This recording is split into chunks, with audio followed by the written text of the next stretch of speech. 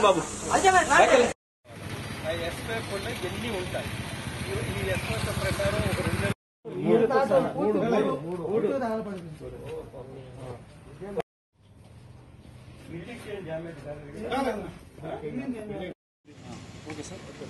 నిన్న రాత్రి నెల్లూరు బోడిగోడు తోటలో ఇక్కడ ఈ ప్లేస్లోనే ఉన్నాం. ఈ ప్లేస్లో బ్లీచింగు దానికి సంబంధించినటువంటి ఆయిల్ ఈ రెండు కూడా ఈ యొక్క గోడౌన్లో డంపింగ్ ఉన్నటువంటి డంప్ చేసినటువంటి గోడౌన్లో ఫైర్ అవడం జరిగింది. వాస్తవంగా నిన్న చెప్పినటువంటి అధికారులందరూ కూడా నిన్న మంత్రి గారు అదేవిధంగా అధికారులందరూ కూడా కరెంట్ ఫైర్ అయింది. ఇక్కడ దానివల్ల ప్రాబ్లం వచ్చింది. కడ కరెంటు వల్ల వచ్చినటువంటి సమస్య కాదని చెప్పి మనకు పూర్తిగా అర్థం అవుతా ఉంది. ఎందుకంటే ఎలక్ట్రికల్ డిపార్ట్మెంట్ ఇప్పుడే డిఈ గారు కూడా క్లారిటీ చెప్పారు. దానికి మాలా మాకు ఎలాంటి సంబంధం లేదని.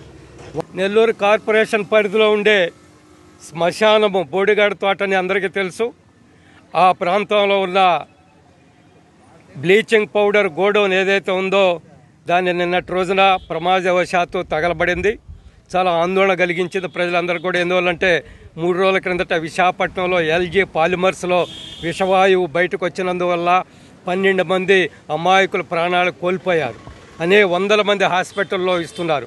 ఆ పరిస్థితులు చూసిన తర్వాత నిన్నటి రోజున ఇక్కడ ఈ తగలబడిన తర్వాత ఈ చుట్టుపక్కల ప్రాంతాల ప్రజలు చాలా ఆందోళనగా ఉన్నారు సంతోషకరమైన విషయం ఏమిటంటే ఎవరికి ఎటువంటి ప్రాణాపాయం లేదు ఎవరు కూడా గాయపడలేదు ఇదందరం కూడా మనం సంతోషించాలి. అదే సమయంలో బ్లీచింగ్ పౌడర్ ఈరోజు నిత్యావసర వస్తువు నిజానికి. కరోనా వచ్చిన తర్వాత ప్రపంచవ్యాప్తంగా ఈ కరోనా కోవిడ్ నైన్టీన్ సందర్భంగా బ్లీచింగ్ పౌడర్ అవసరం చాలా ఎక్కువగా ఉంది. అది పారిశుద్ధ్యాన్ని మెయింటైన్ చేయడం కోసం బ్లీచింగ్ పౌడర్ చాలా అవసరం.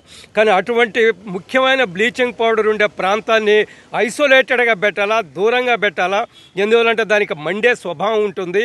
ఒకప్పుడు వీళ్ళు ఇరవై సంవత్సరాల కిందట ఈ ఇక్కడ ఈ యొక్క గోడౌన్ పెట్టినప్పుడు ఇది కేవలం స్టాక్ పాయింట్ అని చెప్తున్నారు.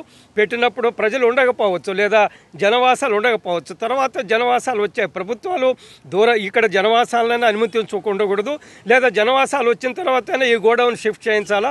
ప్రభుత్వం వీళ్ళకి సరైన స్థలం చూపించే దూరంగా ప్రజలకు దూరంగా. ఎందుకంటే ఇది మండే స్వభావం ఉంది. ప్రభుత్వం నిర్లక్ష్య వైఖరి కూడా ఇందులో కనిపిస్తుంది. భవిష్యత్తులో ఏమిటంటే నిర్లక్ష్య వైఖరి కాకుండా ముందు జాగ్రత్త చర్యలు తీసుకోవాల్సిందిగా కార్పొరేషన్ అధికారులు కూడా మేము డిమాండ్ చేస్తున్నాం. ఈ కరోనా పరిస్థితుల్లో ప్రపంచం అంతా ప్రజలంతా కరోనాతో ఆందోళన చెందుతున్న సందర్భంలో ఇటువంటి మానవ తప్పిదాల వల్ల జరుగుతున్న వాటి వల్ల ప్రజలు చాలా ఆందోళనగా ఉన్నారు. వెంటనే ప్రభుత్వం సరైన చర్యలు తీసుకోవాలని డిమాండ్ చేస్తుంది నిన్న పొద్దుపోయిన తర్వాత బయాలజీ కెమికల్స్ దగ్ధం కావడం జరిగింది.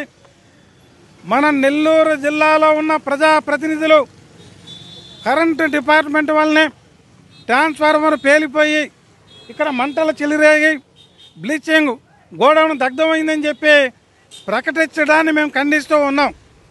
ట్రాన్స్ఫార్మరు చిన్న ఫీజు పోతే దీనికి అర కిలోమీటర్ల దూరంలో ఉంది.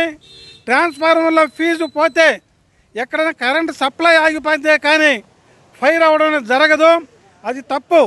రెండోది నిన్నటి సాయంకాలం దీని వెనకున్నటువంటి డంపింగ్ యార్డ్లో వేస్టేజ్ని తగలబెట్టడం జరిగింది. మానవ తప్పిదం వల్ల ఆ యొక్క మంట రవ్వలు వచ్చేసి ఈ గోడౌన్ మీద పడి బ్లీచింగ్ తగలపెట్టడం జరి తగలబడడం జరిగింది. దీని మీద సమగ్ర దర్యాప్తు జరిపి బాలాజీ కెమికల్స్కి నష్టం వాటిల్లింది.